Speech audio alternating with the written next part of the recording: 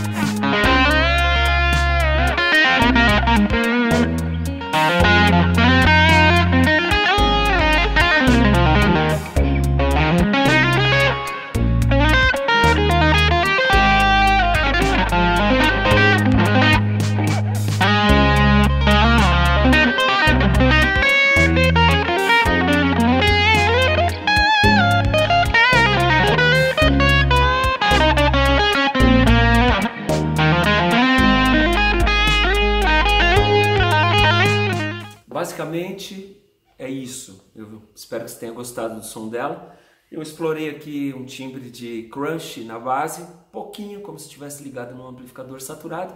E o overdrive que eu usei foi o Mayflower para colocar um pouco mais de ganho para fazer alguns solos aqui, só para você sentir um pouco da, da, do piquezinho da palhetada, como é que funciona. Bom, espero que você tenha gostado do som do instrumento.